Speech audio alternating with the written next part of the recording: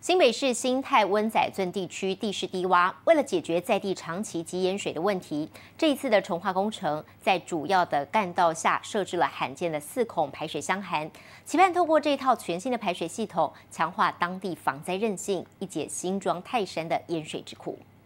好，这十公尺有一个交错，交错连通嘛，都会当连通。亲自走到洞内视察工程状况。由于新北市新泰温仔圳地区地势低洼，每到台风梅雨季节，总会出现淹水状况。以前这里更是被人家称作烂泥巴地。如今新北市长侯友谊为了改善当地排水，打造韧性都市，于是就在温仔圳从化地区主干道下方设置跨度十八公尺、高一点八公尺的排水箱涵，这将衔接新庄泰山排。排水系统把雨水通通排入柜子坑溪。排水箱涵大概可以达到三十八个奥运国际标准游泳池的这个排水量。那也有时候做的滞洪池。那尤其我们今天来看的是四孔排水箱涵。